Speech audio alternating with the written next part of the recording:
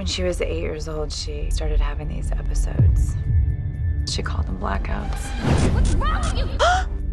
I think I saw it happen. it's just a bad dream. I think someone hurt you very much. Is that true? Chloe is a troubled girl, Josh. I think that something tragic is gonna happen. I want to be someone you can trust, Chloe.